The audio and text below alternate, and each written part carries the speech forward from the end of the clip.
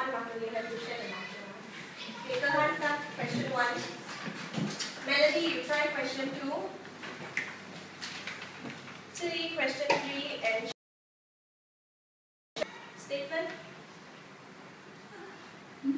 Your final statement. The question is asking you how many marbles he has left, right? Yeah. So he has 59 marbles left, your statement.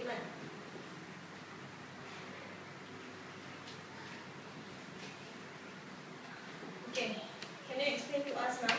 The question says that uh, she, uh, he has uh, 290 levels.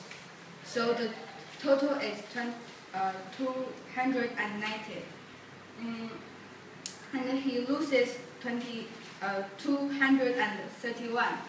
So uh, he had left, left uh, 59 is 206, uh, 90 minus 131.